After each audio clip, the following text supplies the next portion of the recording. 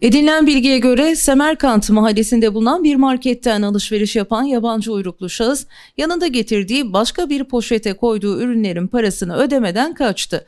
Hırsızlık yapıldığını anlayan market görevlisi kaçan şahsın peşinden koştuğu sırada çevredekilerden yardım istedi.